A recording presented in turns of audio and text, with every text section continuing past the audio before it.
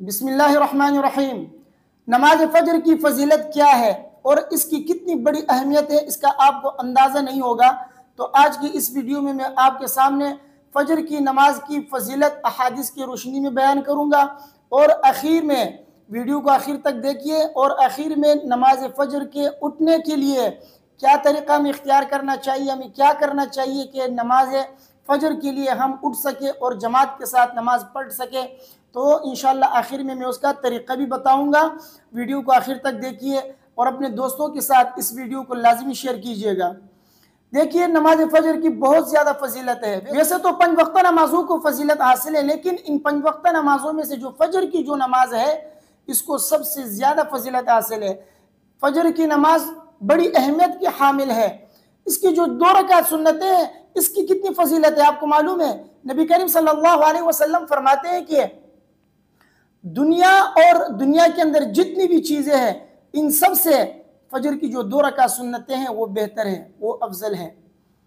चुनाची मुस्लिम शरीफ की हदीस है, हज़रत आयशा रज़ी अल्लाह तला फरमाती हैं गालिबा हदीस नंबर सात सौ पच्चीस है, फरमाती है कि नबी करीम सल्लल्लाहु अलैहि वसल्लम ने फरमाया रकात अलफजरी खैर मिन दुनिया व माफिया रकाता अलफजरी यानी फजर की जो दो रकातें, जो दो सुन्नतें हैं, ये दुनिया व माफिया से बेहतर है। तो कितनी बड़ी फजीलत हासिल है फजर की सुन्नतों को? जब फजर की दो रका सुन्नतों की इतनी बड़ी फजीलत है तो आप सोचिए खुद फजर की जो फ़र्ज़ नमाज़ है, इसकी कितनी बड़ी फजीलत होगी? तो फजर की नमाज़ की बहुत ज़्यादा फजीलत है। फजर की नमाज़ ऐसी नमाज़ है कि ये नमाज़ आपको जहन्नम में जाने से रोकती है। वो कैसे है? हदीस में है, नबी करीम सल्लल्लाहु अलैहि वसल्लम ने फरमाया, मुस्लिम शरीफ की हदीस है लन्नार अहदुन सल्ला कबल तुलुशमसी व कबल गुरूबिहा औ कमा क़ाल सल्लल्लाहु अलैहि वसल्लम नबी करीम सल्लल्लाहु अलैहि वसल्लम ने फरमाया कि हरगिज वो शख्स जहन्नम में दाखिल नहीं होगा आग में वो शख्स हरगिज दाखिल नहीं होगा जिसने तुलु शम से पहले और गुरूब शम से पहले नमाज़ पढ़ी हो यानी फजर की नमाज़ और असर की नमाज़ जिस शख्स ने पढ़ी हो और इसके पढ़ने की पाबंदी की हो, वो शख्स कभी भी जहन्नम में नहीं जाएगा। तो फजर की नमाज़ आपको जहन्नम में जाने से रोकती है। फजर की नमाज़ आपको जन्नत में ले जाती है। वो कैसे है? क्योंकि नबी करीम सल्लल्लाहु अलैहि वसल्लम की हदीस से फरमाते हैं कि नबी करीम सल्लल्लाहु अलैहि वसल्लम ने फरमाया मनसल बरदैनी दखल जन्ना औ कमा क़ाल सल्लल्लाहु अलैहि वसल्लम। ये बुखारी शरीफ की हदीस है। फरमाते हैं कि नबी करीम सल्लल्लाहु अलैहि वसल्लम ने फरमाया कि जो शख्स दो टंडी नमाजें पढ़े, टंडी टंडी जो दो नमाजें हैं, वो पढ़ ले, वो कहते हैं कि वो जन्नत में दाखिल हो जाएगा। जिस शख्स ने भी दो टंडी नमाजें पढ़ ली, वो जन्नत में दाखिल हो गया। वो टंडी नमाजें कौन सी है? फजर की नमाज़ और आसर की नमाज़। ये दो नमाजें ऐसी हैं जो शख्स इसके पढ़ने की पाबंदी करता है। अल्लाह तबारक व ताली उसको जन्नत में दाखिल फरमाते हैं। तो फजर की नमाज़ आपको जन्नत ले जाएगी। फजर की नमाज़ जहन्नम से रोकेगी। फजर की नमाज़ दुनिया व माफिया से बेहतर है। तो हमें पढ़नी चाहिए कि नहीं पढ़नी चाहिए? वैसे भी तो अल्लाह का हुक्म है और कब्र में सबसे पहले नमाज़ के मुतालिक पूछा जाता है। नमाज़ ऐसी चीज़ है जो हमें गुनाहों से रोकती है। नमाज़ ऐसी चीज़ है जो हमें बुराई से रोकती है और नेकी की तरफ़ हमें दावत देती है। इन मुनकर नमाज़ ऐसी है जो बुराइयों से और फहशा से इंसान को रोकती है। तो लिहाजा हमें चाहिए कि हम नमाजें पढ़ा करें पंच वक्त नमाजों के पढ़ने की पाबंदी करें, वो भी जमात के साथ। तो इन पंच वक्त नमाजों में जो फजर की नमाज़ है, ये सबसे ज़्यादा फजीलत रखती है और सबसे ज़्यादा अहमियत के हामिल है। इसलिए फजर की नमाज़ हमें ज़रूर पढ़नी चाहिए। और इसके लिए हमें उठना चाहिए, आदत बना ले अपनी। फजर की नमाज़ एक ऐसी नमाज़ है कि ये ईमान परखने की कसौटी है फजर की नमाज़। फजर की नमाज़ ईमान परखने की कसौटी है और फजर की नमाज़ ऐसी नमाज़ है कि इसके बारे में सहाबा ये कहते हैं कि जो शख्स फजर की नमाज़ नहीं पढ़ते थे तो हम उसके बारे में गलत गुमान किया करते थे अच्छा गुमान नहीं करते थे। यानी उसको हम मुनाफिक समझते थे नौजबिल्ला तो फजर की नमाज़ ये सदाकत की जो है निशानी है और ईमान परखने की कसौटी है तो इसलिए फजर की नमाज़ जमात के साथ पढ़ लें। वैसे तो हमें फजर की नमाज़ ज़रूर पढ़नी चाहिए, लेकिन कोशिश हमें ये ये करनी चाहिए कि फजर की नमाज़ जमात के साथ पढ़ ले। क्यों? इसलिए कि फजर की नमाज़ जमात के साथ पढ़ने से क्या है? ये हमारी ईमान की सदाकत की दलील है और ईमान परखने की कसौटी है जमात के साथ पढ़ने से। तो जमात के साथ पढ़नी चाहिए। क्योंकि सहाबा कराम क्या फरमाते हैं? हज़रत अब्दुल्ला बिन उमर रज़ी अल्लाह तआला फरमाते हैं, कुन्ना फक़दना रजुल फिल फज्र वल इशा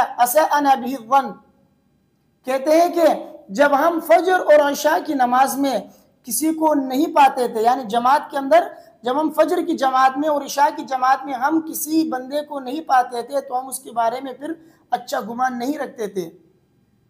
तो इससे मालूम हुआ कि फजर की जमात असर की जमात, ये ईमान परखने की कसौटी है। इससे इंसान की ईमान का पता चलता है कि ये कितना ईमानदार है, ये कितना मुखलिस बंदा है, ये कितना इसके अंदर ईमान की जो है हलावत ज़्यादा है, ईमान की कुत ज़्यादा है। और इसी तरह इसकी सदाकत ईमान की भी ये कसौटी है। और इसी तरह इसकी सदाकत पर भी दलालत करता है। तो जमात के साथ पढ़ा करे, फजर की नमाज़, जमात के साथ, असर की नमाज़ ये जमात के साथ पढ़ा करे। तो फजर की नमाज़ के लिए जो शख्स नहीं उठता, नबी करीम सल्लल्लाहु अलैहि वसल्लम फरमाते हैं कि, बाल शैतान फ़ी उदनी शैतान उसके कान में पेशाब करता है। हज़रत अब्दुल्ला फरमाते हैं कि, नबी करीम सल्लल्लाहु अलैहि वसल्लम के सामने किसी साहबी का ज़िक्र हुआ कि वो सुबह की नमाज़ के लिए उठते नहीं है, सुबह तक वो सोते रहते हैं। तो नबी करीम सल्लल्लाहु अलैहि वसल्लम ने फरमाया, बाल शैतान फ़ी उदनी शैतान इसके कान में पेशाब करता है। यानी जिस शख्स के कान में शैतान पेशाब करे, फिर वो सुबह की नमाज़ के लिए नहीं उठ सकता। तो इसलिए सुबह की नमाज़ के लिए उठा करें, वरना शैतान आपके कान में पेशाब कर देगा।